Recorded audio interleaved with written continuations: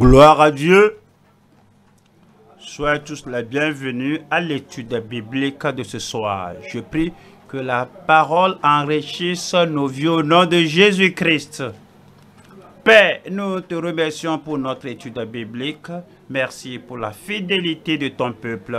Merci pour nos frères, nos sœurs, les mères, les pères, les jeunes, les personnes âgées. Nous te remercions pour l'étude biblique. Nous te remercions pour la résurrection du Seigneur Jésus-Christ qui, qui nous a tout pourvu, qui nous a donné la réconciliation, la justice, la rédemption et tout. Et nous demandons, Seigneur, que les avantages de la résurrection du Seigneur Jésus-Christ soient les nôtres au nom de Jésus-Christ. Sois avec nous comme nous étudions ce soir et nous prions que ton esprit prenne la parole et que cette parole qui est profitable soit appliquée à tout cœur et que nous soyons forts dans notre conviction, dans ce que nous, tu nous révèles au nom de Jésus-Christ. Nous te remercions parce que tu nous as exaucés. Au nom de Jésus, nous prions. Amen. Et cette nuit, nous sommes à une étude très importante qui parcourt tout le Nouveau Testament. La résurrection du Seigneur Jésus-Christ est très importante. Et les disciples ont, avaient besoin des apparitions de Christ après sa résurrection dans les morts. C'est pourquoi nous sommes aujourd'hui à Marc 16. Voilà le verset 9. Marc 16. Nous lisons du verset 9 qui Jésus étant ressuscité le matin du premier jour de la semaine, apparut d'abord à Marie de Magdala, de laquelle il avait chassé sept démons. Je veux que vous souligniez le mot là-bas apparu. Voilà le verset 12. Comme on voit le verset 12, cela nous dit, après cela, il apparut sous une autre forme à deux eux qui étaient en chemin pour aller à la campagne. Le mot là est encore arrivé ici. On a apparu ici, comme on voit le verset 14. 14 nous dit, enfin, il apparut aux onze pendant qu'il était à table et il leur reprocha leur incrédulité et la dureté de leur cœur parce qu'ils n'avaient pas cru ceux qui l'avaient vu ressusciter.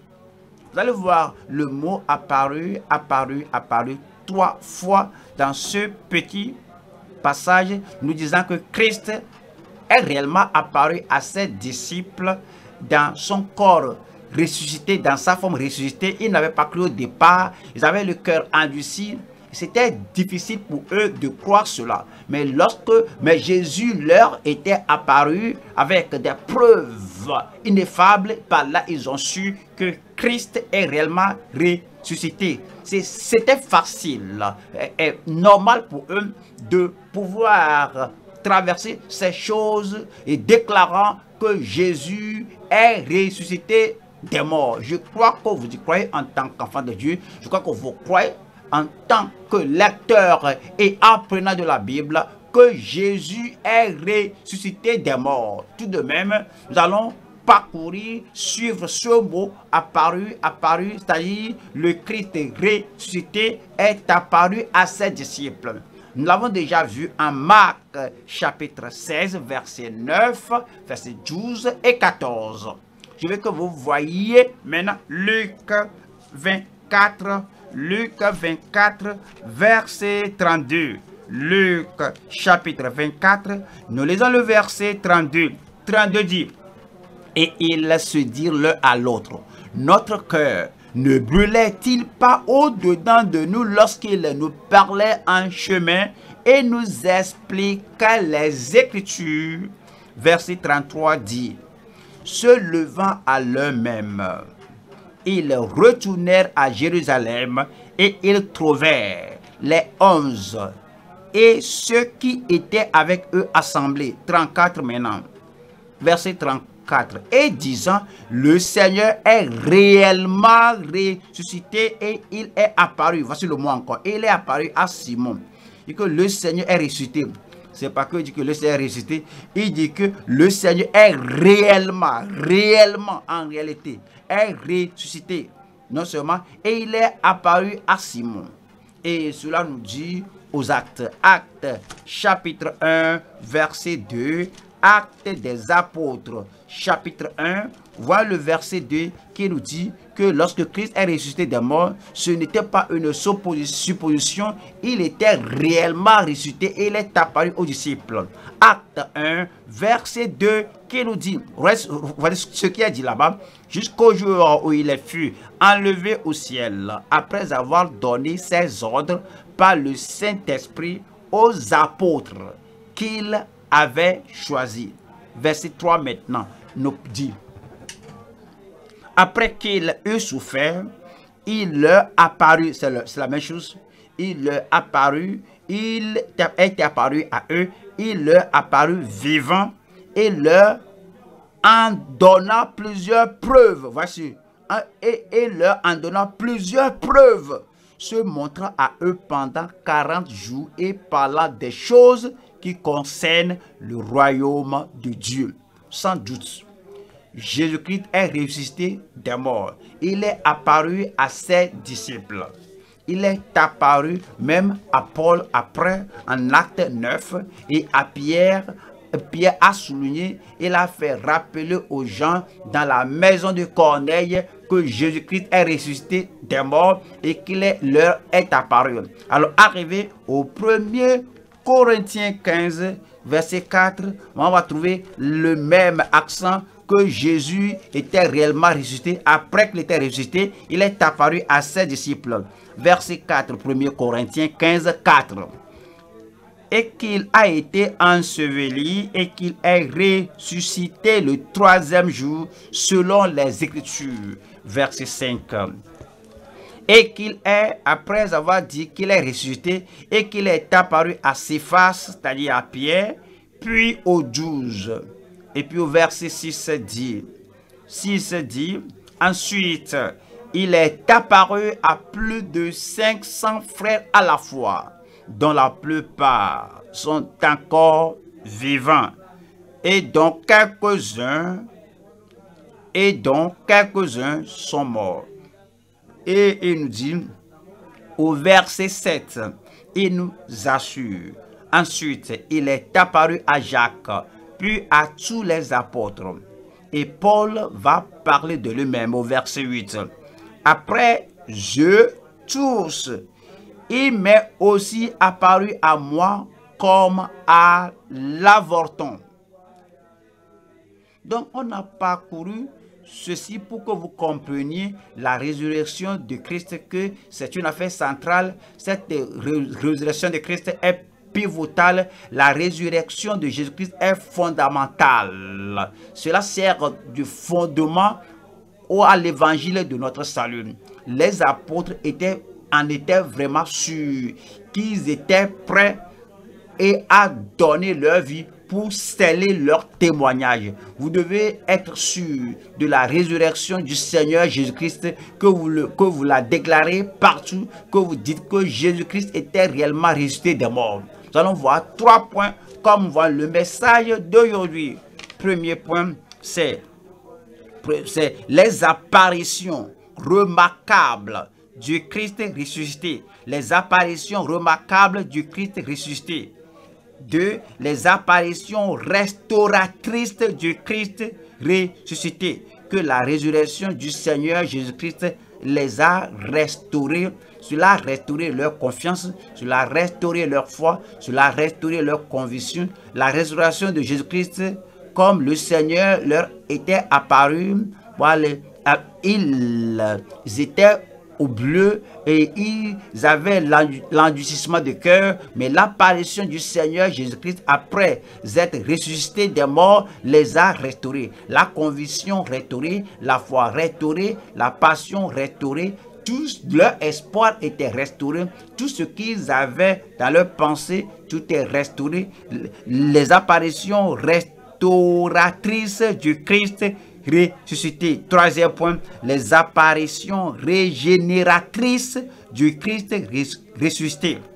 Cette apparition du Christ après la résurrection, après être euh, ressuscité des morts, euh, a amené euh, le salut à l'apôtre Paul. Cela a amené la réconciliation avec Dieu. Cela a amené la régénération, le salut, la conversion de l'apôtre Paul. C'est les apparitions régénératrices du Christ ressuscité. Allons au premier point. Premier point, c'est les apparitions remarquables du Christ ressuscité. Les apparitions remarquables du Christ ressuscité. Voyons Marc 16, verset 9. Marc 16, verset 9. Jésus étant ressuscité le matin du premier jour de la semaine, soulignez cela, il était ressuscité le premier jour de la semaine. Cela veut dire que notre salut est réel, notre justification est réelle. C'est pourquoi nous célébrons cette résurrection le premier jour de la semaine. Certains pourraient s'étonner pourquoi ne pas adorer le jour du sabbat? Pourquoi ne pas adorer le samedi? Comprenez, le, sabbat était donné aux enfants d'Israël pour se rappeler leur rédemption, leur sortie, leur délivrance de la captivité, de la servitude d'Égypte. Mais de notre côté, le premier jour de la semaine, Jésus-Christ était ressuscité des morts. Et puis notre salut, et puis notre justification, notre rédemption, notre réconciliation avec Dieu et les bénédictions du calvaire sont les nôtres. Si Jésus n'est pas ressuscité, des morts, notre foi sera vaine. Notre salut ne sera pas réel. Et il n'y aura pas une relation entre nous et le ciel. C'est à cause de la résurrection de Jésus-Christ le premier jour de la semaine. Maintenant, on peut célébrer notre rédemption, notre salut, notre justification. C'est pourquoi nous n'allons pas retourner à l'ancienne alliance et retourner à la, euh, sous la servitude de la loi, parce que nous ne sommes pas en Égypte, nous étions dans le péché et le Seigneur nous, en a délivrés. Maintenant, nous célébrons la résurrection du Seigneur. Jésus-Christ, le premier jour de la semaine, il est ressuscité. Et il est apparu d'abord à Marie de Magdala, de laquelle il avait chassé sept démons. Verset 10 nous dit, elle alla emporter la nouvelle à ceux qui avaient été avec lui et qui s'affligeaient et pleuraient. La parole de Dieu a affirmé que la résurrection du Seigneur Jésus-Christ est réelle. Le ciel et la, et la terre ont témoigné, ont rendu témoignage de la résurrection du Seigneur Jésus-Christ.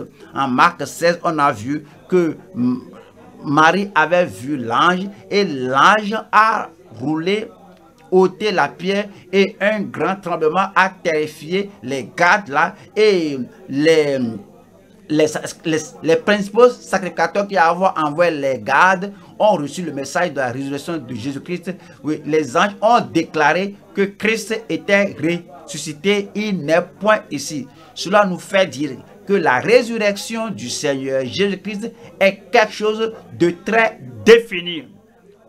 Comme tout est affirmé au fait, le Christ ressuscité est apparu maintenant à Marie. Il est apparu aux deux disciples en, vers, en route vers Emmaüs. Il, il est apparu aussi aux apôtres, aux, disciples euh, de, en, divers lieux. Même il est apparu aussi à 500 personnes à la fois. Et comme je l'ai dit lundi passé, ce n'est pas une hallucination, ce n'est pas un rêve, ce n'est pas euh, une affaire d'extase, ce n'est pas une apparition. plus de 500 personnes ne peuvent pas avoir le même rêve, la même nuit, à même, à même moment. plus de 500 personnes ne pouvaient pas avoir, ne, pouvait pas s'extasier en même temps. Mais il est apparu dans sa forme ressuscité, il est apparu dans sa forme glorifiée et plus de 500 personnes à la fois l'ont vu. Et l'église primitive était sûre, certaine. L'église primitive est restée ferme en dehors de toute en dehors de tout doute que Christ était ressuscité des morts, vous aussi vous devez avoir l'assurance que Jésus-Christ est réellement ressuscité des morts. Voyons Marc chapitre 16. Voyons le verset 12. Marc 16. Voyons verset 12.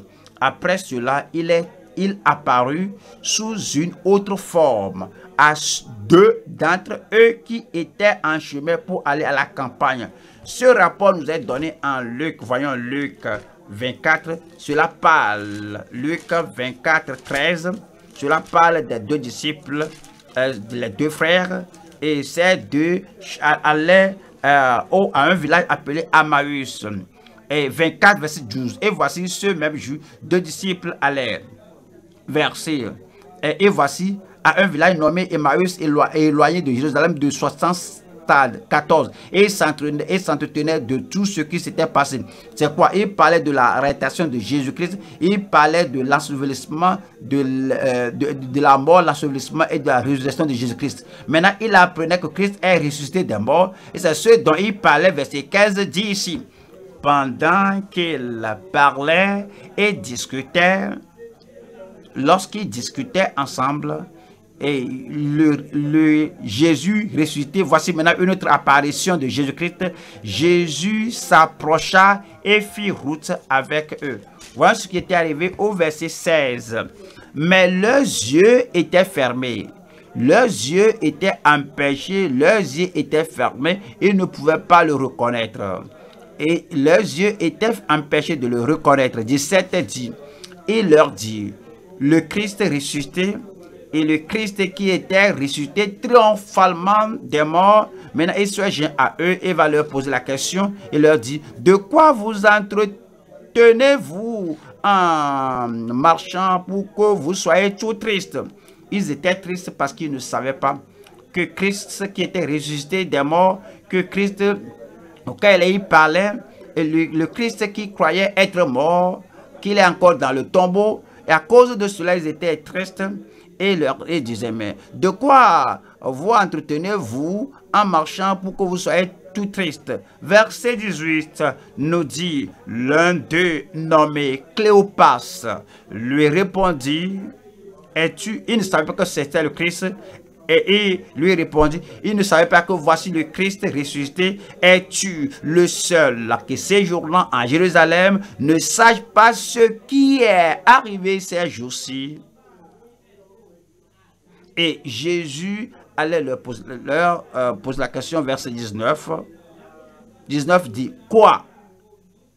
Alors, il voudrait, euh, s'engager euh, dans la conversation avec eux. Il savait de quoi? Ils discutaient seul. Alors, il savait qu'il devait savoir qu'il est, qu'il est ressuscité des morts. Mais leur incrédulité a fermé leurs yeux. Leur dit-il, quoi leur dit-il? Et ils lui répondirent ce qui est arrivé au sujet de Jésus de, Nazareth, qui était un prophète puissant en œuvre et en parole devant Dieu, devant tout le peuple. Verset 20. Et comment les principaux sacrificateurs et nos magistrats l'ont livré pour le faire condamner à mort et l'ont crucifié. Verset 21. Nous espérions, mais nous croyons, nous croyons, nous c'est le passé, nous espérions que ce serait lui qui délivrerait Israël. Qui délivrerait Israël. Et il a payé le prix de la rédemption, qu'il délivrera, sauvera Israël de toutes ses iniquités. C'est ce qu'il a fait à la croix. C'est pourquoi il est ressuscité maintenant des morts. Il l'a fait pour vous, pour moi, pour tous ceux qui croiront. Et c'est dit que nous espérions que ce serait lui qui délivrerait Israël. Mais avec tout cela, voici le troisième jour que ces choses se sont passées. Voici le troisième jour que ces choses se sont passées. Verset 22. Il est vrai que quelques femmes d'entre nous, quelques femmes d'entre nous de notre assemblée, quelques femmes de, de notre compagnie, il est vrai que quelques femmes d'entre nous nous ont fort étonnés, s'étant rendus de grand matin au sépulcre. Pourquoi étaient-ils étonnés? 23. Et n'ayant pas trouvé son corps, elles sont venues dire que des anges leur sont apparus et ont annoncé qu'il Christ, qu'il le Christ, le ressuscité, qu'il le Seigneur glorifié est vivant. Il parlait à Christ sans savoir qu'il s'adressait à Christ. Et ces femmes ont dit que ces femmes ont vu des anges, non seulement ça, que les anges ont dit que qu'il est vivant. Verset 24, 24 dit, quelques-uns de ceux qui étaient avec nous sont allés au sépulcre et ils ont trouvé les choses comme les femmes l'avaient dit. Mais lui, ils ne l'ont point vu. 25 nous dit, verset 25. Alors Jésus leur dit, il va maintenant leur parler, ô homme sans intelligence, et dans le cœur est lent à croire tout ce qu'ont dit les prophètes. Lorsqu'il a parlé de la sorte, alors il le prenait pour un simple homme, pour un prédicateur, il le prenait pour un prophète et dit au homme sans intelligence, il croyait qu'il parlait que vous n'avez pas lu votre écriture, vous n'avez pas fait ceci, vous n'avez pas fait cela. Il parlait comme quelqu'un qui les exhortait, qui les corrigeait, mais il ne leur a pas révélé qu'il est le Christ.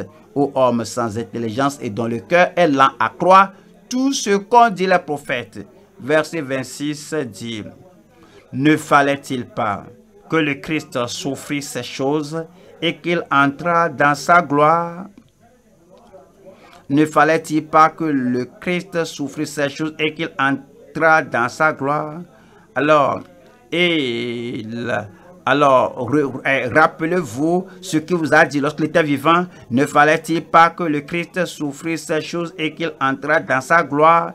Verset 27 dit, et commençant par Moïse, commençant par les livres de Moïse, Genèse, Exode, Lévitique, Nombre, Deutéronome, et commençant par Moïse. Et par tous les prophètes, c'est-à-dire tous les écrits de l'Ancien Testament, il allait de verset en verset, de chapitre en chapitre, de livre en livre, et il, et s'est dit, et commençant par Moïse et par tous les prophètes, il leur expliqua, il leur expliqua, il leur interpréta il leur expliqua dans toutes les Écritures ce qui le concernait, concernant Christ, au sujet de la souffrance de Christ, au sujet de la trahison de Christ, concernant la crucifixion de Christ, concernant la mort du Messie, le Christ qui est mort pour mettre fin au péché, au sujet de la rédemption qui viendra,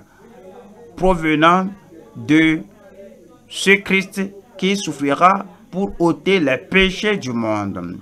Alors il leur expliqua dans toutes les Écritures ce qui le concernait. Verset 28.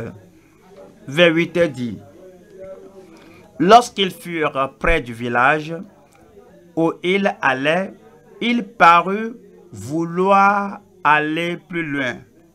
Après tout, ils étaient en voyage et il les a abordés, il le prenait pour un étranger et il allait maintenant aller à la maison. Comme, il allait rentrer à la maison, il, agissait comme s'il allait, allait continuer son chemin.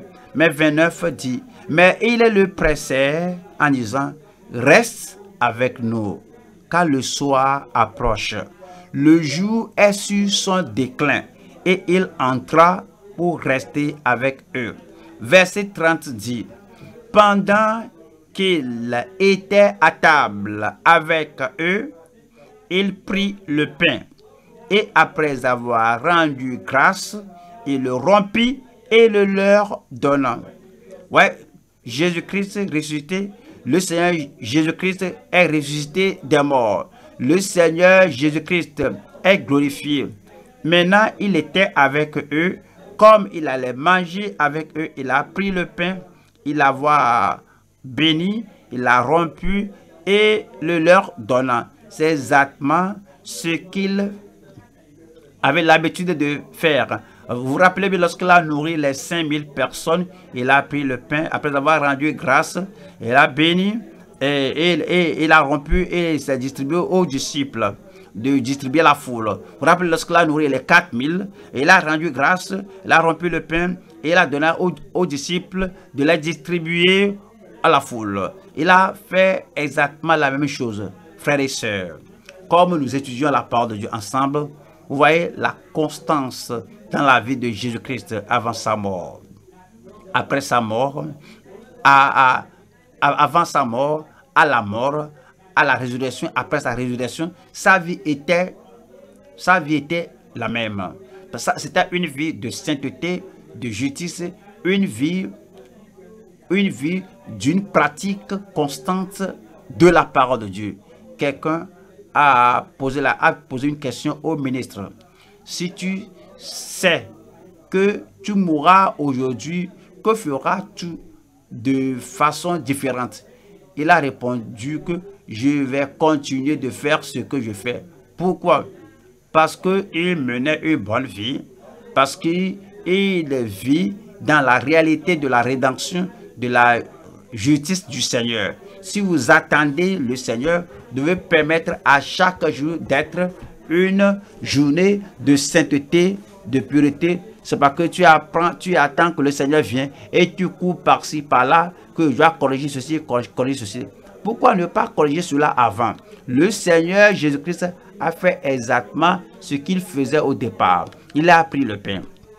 Il a rendu grâce et il a rompu et le rat de verset 31, 31 dit, alors leurs yeux s'ouvrirent. Alors, vous ne pouvez pas manger avec le Christ ressuscité et que votre, vos yeux demeurent fermés. Vous ne pouvez pas avoir avec, vous ne pouvez pas manger et avec le Seigneur Jésus-Christ, écouter ses implications et avec cet exposé de la parole de Dieu venant de Christ et que vous soyez assis à la table avec lui, prendre le pain et que vous mangez, vous prenez le pain de ça, mais que vous demeuriez encore fermés, les yeux fermés. Dès que que alors les yeux s'ouvrirent et il le reconnut, mais il disparut de devant eux. 32 nous dit cela c'est très important. Et se dire l'un à l'autre, notre cœur ne brûlait-il pas au-dedans de nous lorsqu'il nous parlait en chemin et nous expliquait les Écritures? Maintenant, ils ont reconnu que voici le Christ du calvaire. Voici le Christ qui est ressuscité des morts, le Christ qui est ressuscité, ressuscité pour notre justification, pour notre justification, le Christ qui est ressuscité pour nous donner tout ce dont on a besoin. Alors, le premier point, c'est les apparitions remarquables du Christ ressuscité. Nous allons au deuxième point. Les apparitions restauratrices du Christ ressuscité. Il est ressuscité des morts. Comme il est apparu à ses disciples, ils étaient restaurés. Je prie qu'il vous apparaît. Je prie qu'il apparaisse à vous et qu'il prenne la parole de Dieu, vous donne la parole, que la parole soit nouvelle dans votre vie, que vous voyez la résurrection du Seigneur Jésus-Christ et que cela vous donne le renouvellement. Au fait, les disciples n'avaient pas cru au rapport, au récit de sa résurrection. Cependant, tous étaient convaincus après plusieurs évidences qu'on a lu dans Acte 1, verset 3, que tous les apôtres et tous les frères ont parlé, euh, que tous tous les apôtres euh, ont vu que les apparitions d'après résurrection de Christ avaient assuré tous ces gens de la résurrection de Christ. Comme on pense à la résurrection de Christ, les disciples savaient que Jésus-Christ était ressuscité des morts. Dieu a ressuscité Christ des morts. Christ est apparu dans son corps glorifié. Le Saint-Esprit l'a ranimé. Les anges ont déclaré sa résurrection. Même les incroyants, les principaux sacrificateurs, les gardes, alors ont reçu une forte somme pour cacher la résurrection bien connue.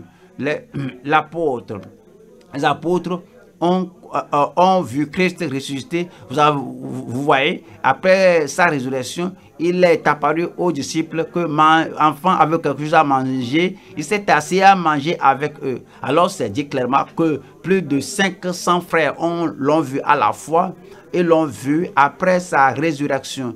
Tous l'ont vu que Christ est ressuscité. La résurrection de Christ est indéniable. La résurrection de Christ ne peut pas être falsifiée. La résurrection de Christ est réelle. La résurrection de Christ est indébattable. Allons aux Écritures comme on voit. Marc 16. Marc chapitre 16. Je lis le verset 10. Elle alla emporter la nouvelle à ceux qui avaient été avec lui et qui s'affligeaient et pleuraient. Alors, Christ est ressuscité des morts. Les disciples n'ont pas raison de s'affliger, de pleurer maintenant. S'ils se rappelaient les paroles de Jésus-Christ que je ressusciterai le troisième jour, il a dit deux fois en, en- en Matthieu, deux fois en Marc, deux fois en euh, trois fois en Luc, deux fois en Luc, et que le Fils de l'homme sera trahi entre les mains des païens et ils, le, le ridiculiseront et le cracheront sur lui, ils le tueront, mais le troisième jour, le troisième jour, il ressuscitera. Mais s'il se rappelle toutes ces choses, alors il n'y a pas raison de s'attrister, il n'y a pas raison de s'affliger. Mais maintenant, euh, ce mari est allé vers eux et leur rapporta ce qu'elle a vu. Verset 11 quand ils entendirent qu'il vivait et qu'elle l'avait vu, ils ne le crurent point. Elle leur avait dit que Christ est ressuscité. Je l'ai vu. Il m'est apparu. Mais ces gens ne le crurent point. Verset 12 dit, après cela, il apparut sous une autre forme à deux d'entre eux qui étaient en chemin pour aller à la campagne. À la campagne. C'est ce qu'on a lu en Luc 24 et maintenant nous, lisons le verset 13 ici. Ils revinrent l'annoncer aux autres, à ceux qui restent, qui ne les crurent pas non plus. Ce sont les apôtres? Ces gens étaient les disciples du Seigneur Jésus-Christ.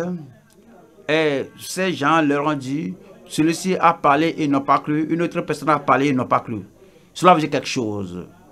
Ils n'ont pas seulement cru facilement comme ça, sans être personnellement convaincus, sans être personnellement, persuadés que Christ est ressuscité des morts. Et le Seigneur a permis cela d'arriver afin que finalement, lorsqu'il apparaîtra à ses disciples, lorsqu'il leur apparaîtra, que cela soit ferme dans leur cœur, dans leur esprit, que personne ne soit en mesure de l'effacer, que Christ est réellement ressuscité des morts. 14.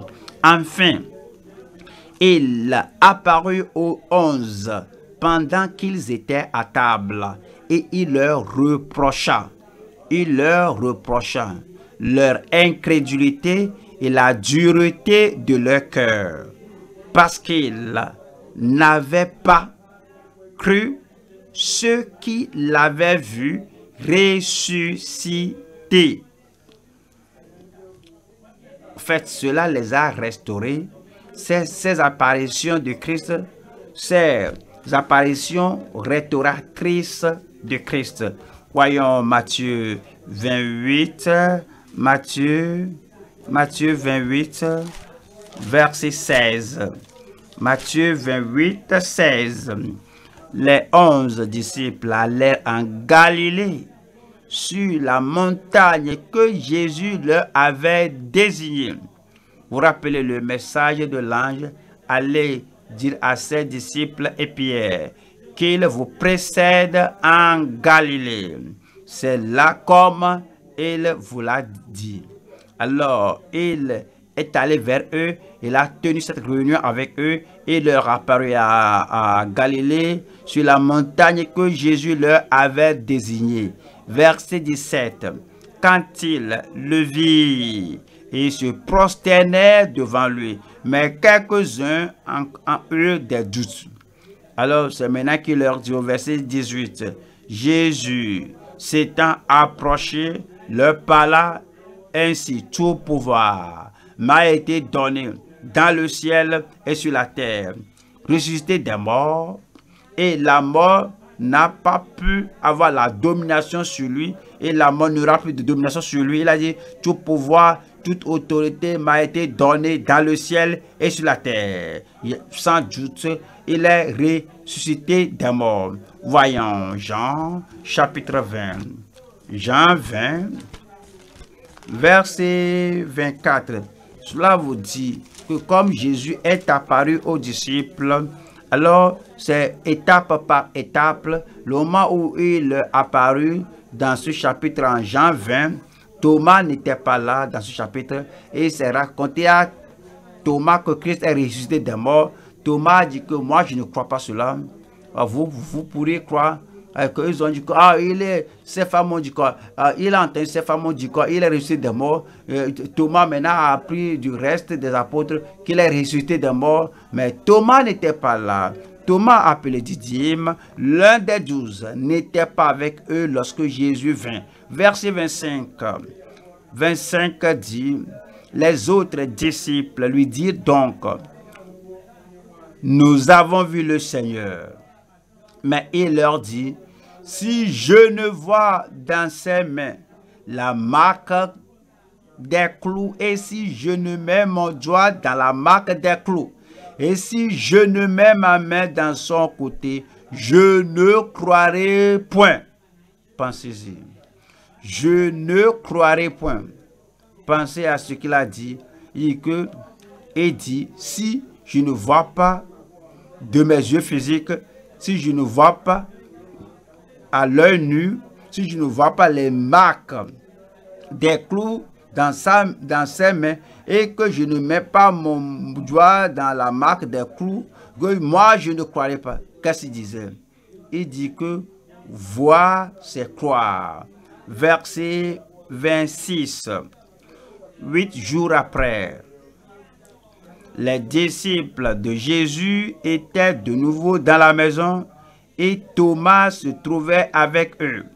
Jésus vint, les portes étant fermées. Comprenez, maintenant il y a le, corps glorifié, le corps ressuscité. Il ne doit plus taper à la porte. On ne doit plus lui ouvrir la porte. Les portes étant fermées, les portes étant fermées, Jésus vint, les portes étant fermées, se présenta au milieu d'eux et dit, la paix soit avec vous. Verset 27. Puis il dit à Thomas, avance ici ton doigt et regarde mes mains. Avance aussi ta main et mets-la dans mon côté. Et ne sois pas incrédule, mais crois. Rappelez-vous, Christ n'était pas physiquement là avec eux lorsque Thomas a dit, que si je ne mets pas mon doigt dans la marque des clous, si je ne mets pas ma main dans, dans, son, dans sa côte, je ne croirai pas. Et Christ est venu et il a entendu toute conversation. Et il écoute toujours toute conversation. Il connaît la dureté du cœur. Il connaît l'incrédulité de tout cœur aujourd'hui comme en ce temps-là parce que rien ne lui était caché. Rien n'est caché devant les yeux du Seigneur. Il nous connaît tout entièrement. Il connaît tout de vous. Ce qui, ce que, ce qui est dit dans le secret, ce qui est dit ouvertement, ce qui est fait dans le secret, même les pensées du cœur, le Seigneur connaît tout. C'est pourquoi lorsqu'il est entré maintenant, là, il Thomas, viens ici et touche-moi comme tu voudrais le faire et mets ta main dans mon côté comme tu veux le faire, que ne, que ne sois pas incrédule, mais crois. Verset 28, Thomas lui répondit, mon Seigneur et mon Dieu. Mon Seigneur Seul le Seigneur peut connaître mes pensées de très loin, mon Seigneur et mon Dieu. Seul Dieu peut se, seul Dieu peut ressusciter des morts comme ça. Celui-ci n'est pas humain. Personne ne t'a pas aidé à te faire sortir du tombeau par toi-même, par ton autorité, par ton pouvoir. Tu es ressuscité des morts. Mon Seigneur et mon Dieu, je me repens de mon incrédulité. Mon Seigneur et mon Dieu, je crois maintenant de tout mon cœur, de toute mon, de toute mon âme, de toute ma vie. Tu es ressuscité des morts. Mon Seigneur et mon Dieu. Et que si tu crois dans ton cœur, si tu confesses de ta bouche que Christ est ressuscité des morts, tu seras sauvé. C'est avec du cœur que l'on cœur et c'est avec la bouche que l'on confesse pour le salut. Maintenant, Thomas a cru que Christ est ressuscité des morts et qu'il est est ressuscité pour sa justification. Il a déclaré être son Seigneur et son Dieu. Verset 29. Par Jésus, Jésus lui dit, parce que tu m'as vu, tu as cru. Heureux ceux qui n'ont pas vu et qui ont cru. C'est la bénédiction que les croyants d'aujourd'hui ont. C'est la bénédiction que nous sommes, que nous avons. Nous sommes bénis avec le salut. Nous sommes bénis avec la réconciliation. Nous sommes bénis avec la régénération. Nous sommes bénis avec l'assurance du salut. Nous sommes bénis avec le ciel. Parce que nous n'étions pas là, n'avons pas attendu de voir comme Thomas s'est dit ici heureux pas seulement une seule personne, heureux ceux euh, parmi les juifs, heureux ceux parmi les païens, les nations, heureux ceux parmi les générations, heureux ceux au temps de la génération d'aujourd'hui, heureux ceux qui n'ont pas vu et qui ont cru. Quand vous croyez au Seigneur Jésus-Christ, qu'il est mort pour vous, voici l'agneau de Dieu qui ôte le péché du monde. Comme vous croyez au Seigneur Jésus-Christ, qu'il est mort pour vous et qu'il est ressuscité pour votre justification et vous déclarez ce que vous croyez dans votre cœur, que Jésus mon Seigneur, Jésus mon Dieu, Jésus mon Sauveur, Jésus mon Rédacteur est mort à la croix, il est ressuscité pour ma justification. Vous êtes béni pour le salut. Vous êtes béni avec la grâce de Dieu. Et nous dit au verset 30, Jésus a fait encore en présence de ses disciples beaucoup d'autres signes qui ne sont, beaucoup d'autres miracles qui ne sont pas écrits dans ce livre. 31. Mais ces choses ont été écrites afin que vous croyiez que Jésus est le Christ, le Fils de Dieu, et qu'en croyant, vous ayez la vie en son nom. Vous ayez la vie éternelle, vous ayez la vie abondante, vous ayez la vie de Dieu en l'homme. Qu'en croyant, vous ayez la vie spirituelle, que vous ayez la vie surnaturelle, que vous ayez la vie triomphante, la, la vie conquérante en son nom comme vous croyez, donc vous aurez la vie qui vient par son nom. Nous allons maintenant au troisième point, les apparitions régénératrices du Christ ressuscité. Les apparitions régénératrices du Christ ressuscité. Laissez-moi vous rappeler que Jésus est ressuscité des morts. Après cela, il est apparu avec plusieurs preuves pendant 40 ans pendant 40 jours à ses disciples et après les 40 jours, il est monté au ciel. Maintenant, après être allé au ciel, ses disciples ont commencé à prêcher, commencé à prêcher que Jésus est ressuscité des morts. La persécution a surgi contre l'Église. Mais il ne faisait aucun cas de cela parce qu'il savait raconter une vraie histoire de la résurrection du Seigneur Jésus-Christ. Maintenant, Christ allait apparaître dans, dans une forme d'après-résurrection à un homme. Alors qu'on appelle Paul de Tarse.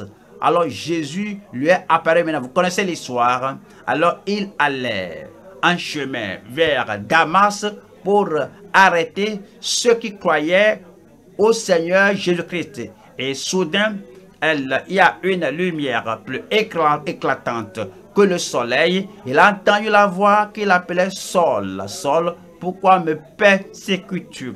La voix venait du, ciel, d'en haut. Et Saul a regardé en haut. Il dit, qui es-tu, Seigneur? Et Jésus a dit, je suis Jésus, toujours vivant, le Christ ressuscité, qui lui est apparu maintenant et dit, que dois-je faire? Que repens, je me repens maintenant, je change maintenant. Alors tout ce que j'ai fait dans l'ignorance, dans les ténèbres, dans la dureté de religion, dans la religion juive, je m'en repens. Je me détourne de tout cela. Je crois maintenant que Jésus et il a pris, il a pris comme sauveur. Acte 9, 17. Acte 9, 17. Acte, acte 9, 17. Et Ananias sortit, lorsqu'il fut arrivé dans la maison, il imposa les mains à, Saül, à Saul en disant, Saul mon frère, l'homme l'a converti maintenant, il n'est plus prédicateur, il n'est plus persécuteur, il deviendra, il deviendra prédicateur. Alors, alors il n'est plus persécuteur, mais il est maintenant une âme persuadée pour Christ, il est maintenant un frère, un membre du corps de Christ.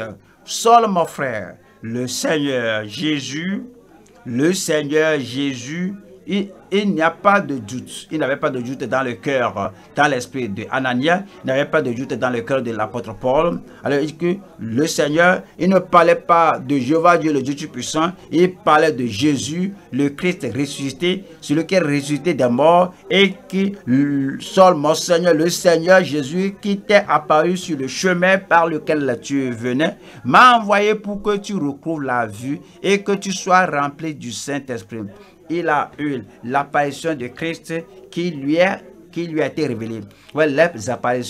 De Christ l'apparition de Christ ressuscité à, de Christ à Paul a amené la conviction à Paul, la foi en lui. Cela a amené le pardon, tous les péchés qu'il a commis à cause de l'apparition de Christ du Christ ressuscité, alors il s'est repenti de ses péchés, il s'en est, détourné, il a soumis sa vie au Seigneur disant, Seigneur, que veux-tu que je fasse? Il dit, va à Damas, va dans la ville. Alors, euh, et il te sera dit ce que tu feras. L'homme a abandonné le passé il a abandonné la persécution passée, le programme passé, la passion passée. Il a tout abandonné avec conviction, avec repentance et la foi en Christ. Maintenant, il est allé à, à Damas.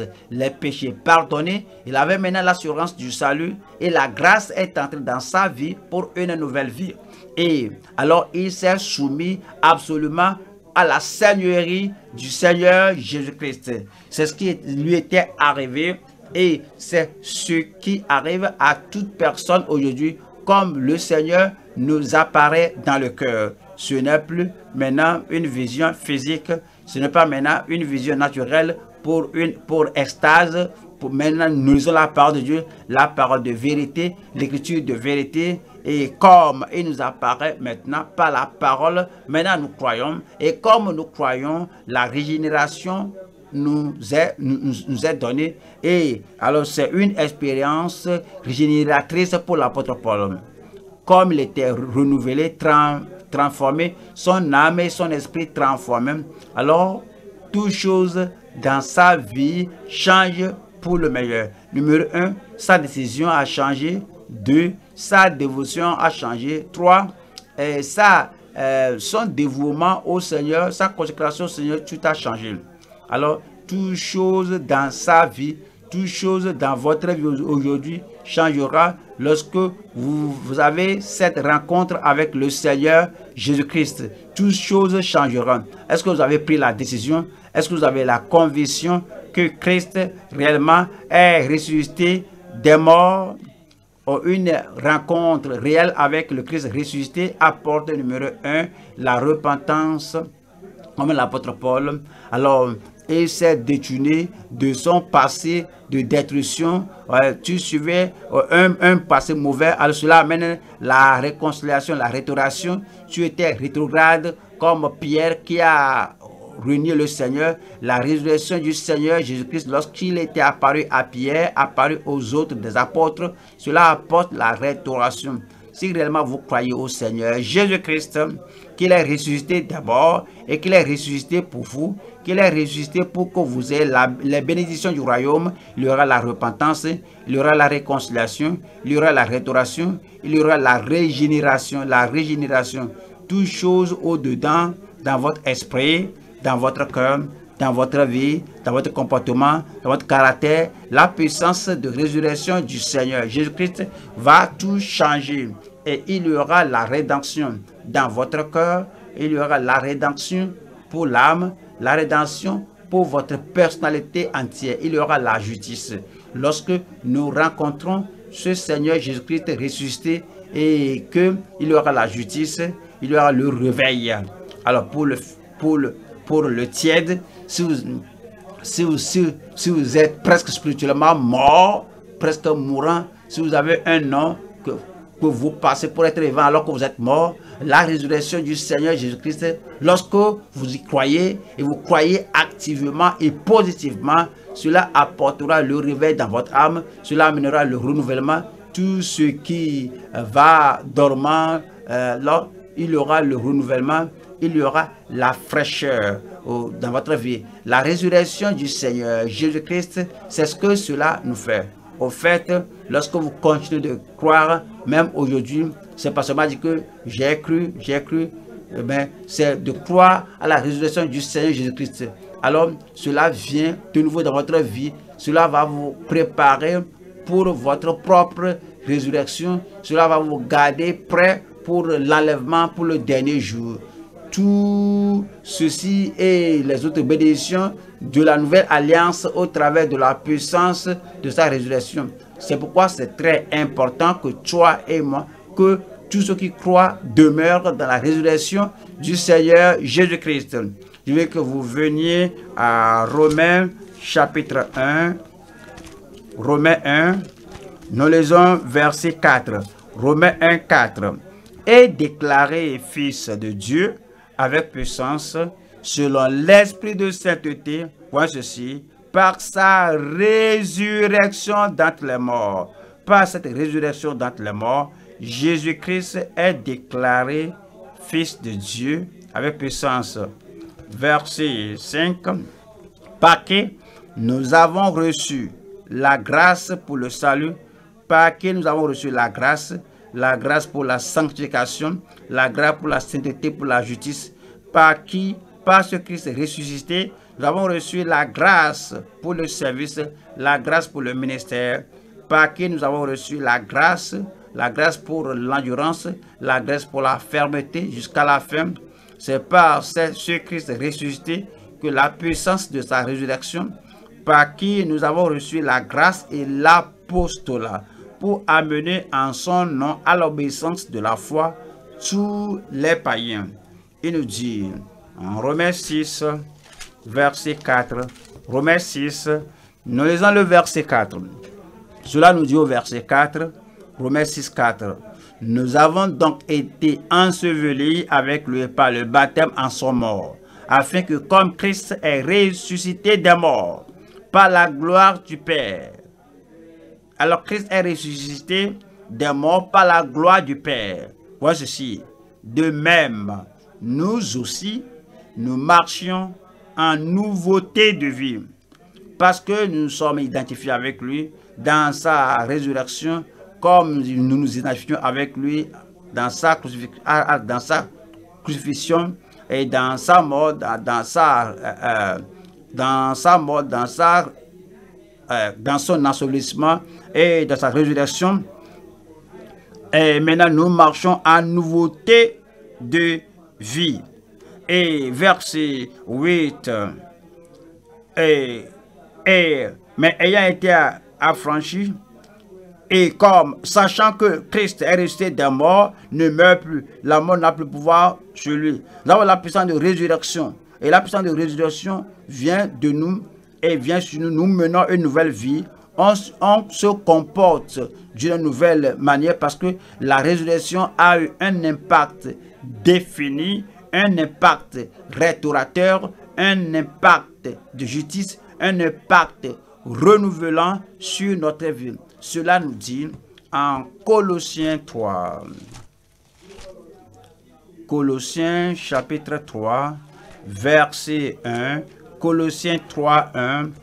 Alors, il conclut pour dire que si donc vous êtes ressuscité avec Christ, maintenant vous êtes ressuscité avec Christ, vous êtes identifié avec Christ, non seulement à la crucifixion, non seulement à la mort, non seulement à l'ensevelissement, maintenant Christ est ressuscité des morts. Et Dieu sait donc vous êtes ressuscité avec Christ. Cherchez les choses d'en haut. Chaque fois, il faut chercher la résurrection. Il faut penser à la vie après la résurrection et penser à la vie après est ressuscité des morts. Et voilà la différence entre le Christ ressuscité et le Christ qui est apparu naturellement à nous. Alors, un homme, avant qu'il ne soit ressuscité des morts, avant qu'il ne soit arrêté, crucifié, maintenant il est ressuscité des morts.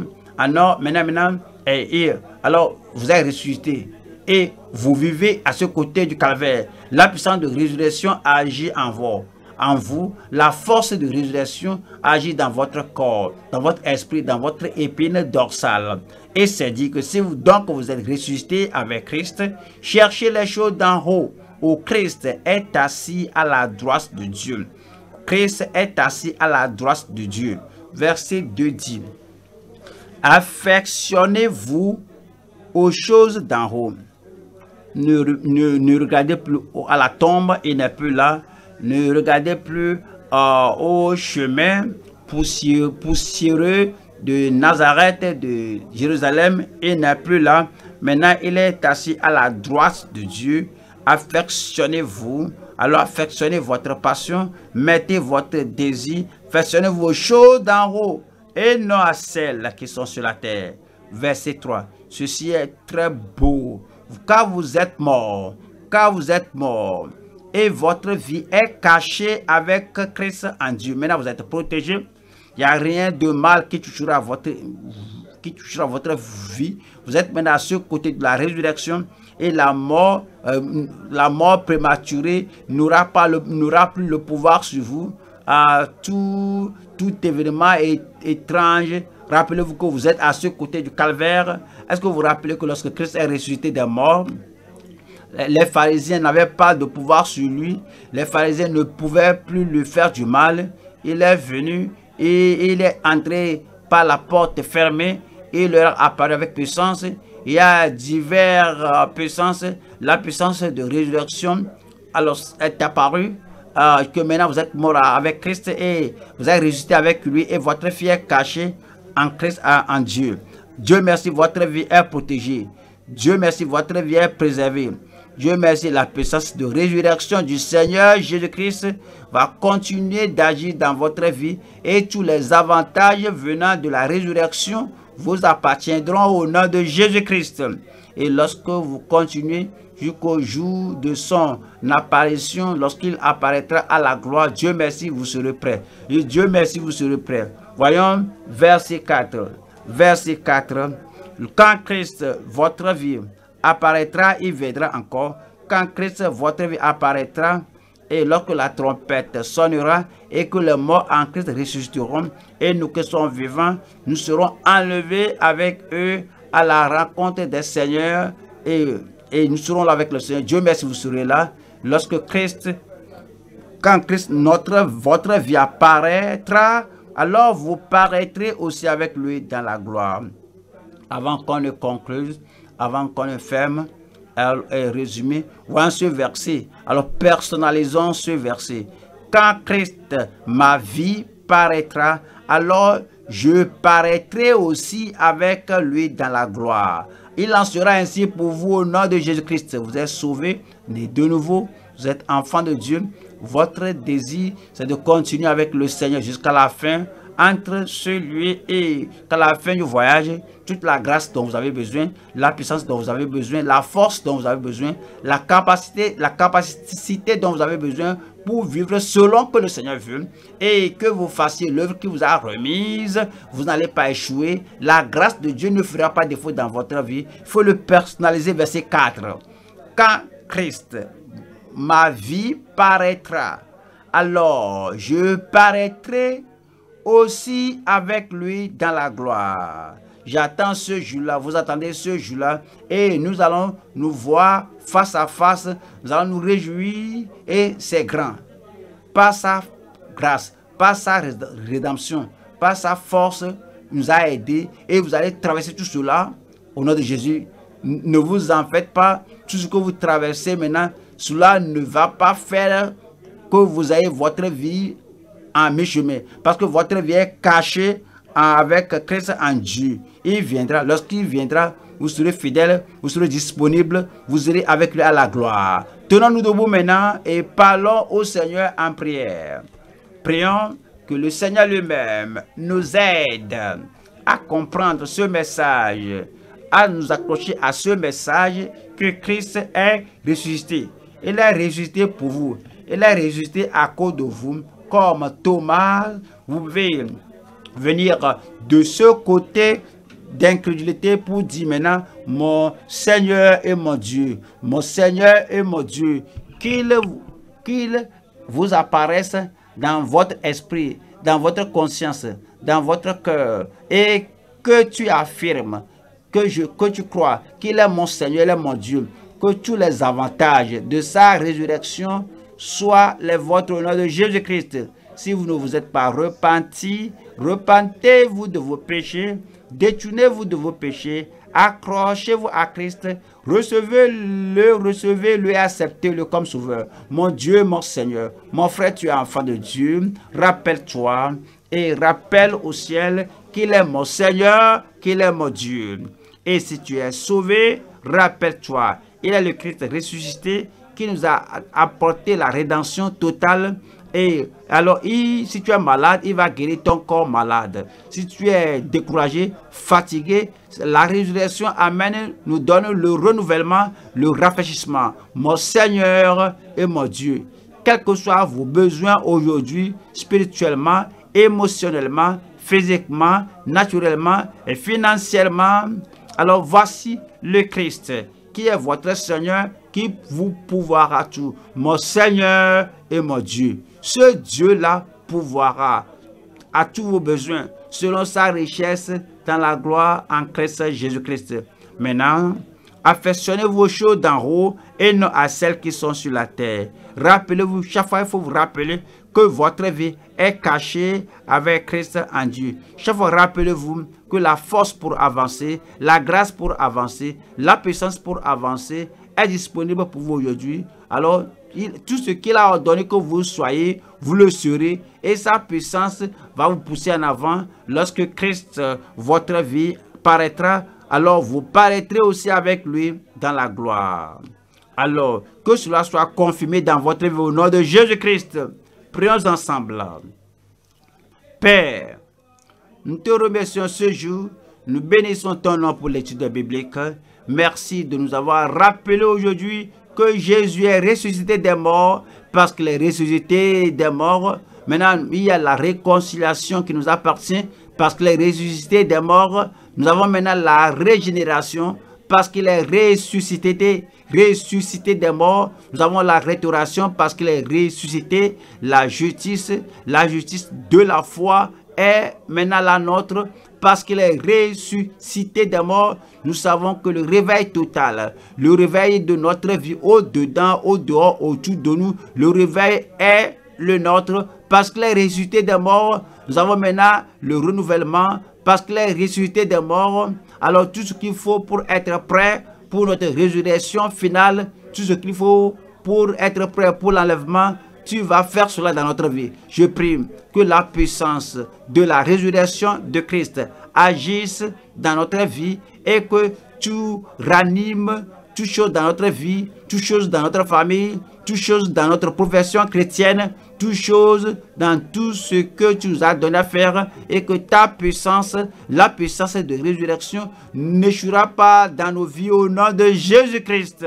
Seigneur, nous acceptons la révélation nous acceptons la déclaration que tout pouvoir dans le ciel et sur la terre, toute autorité dans le ciel, sur la terre, t'a donné, t'a été donné. alors nous recevons, nous acceptons, nous embrassons ce pouvoir, cette autorité et le nom que tu nous as donné ne fera pas défaut dans notre vie.